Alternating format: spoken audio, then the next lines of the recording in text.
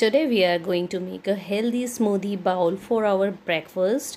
It's very yummy and delicious. So let's begin.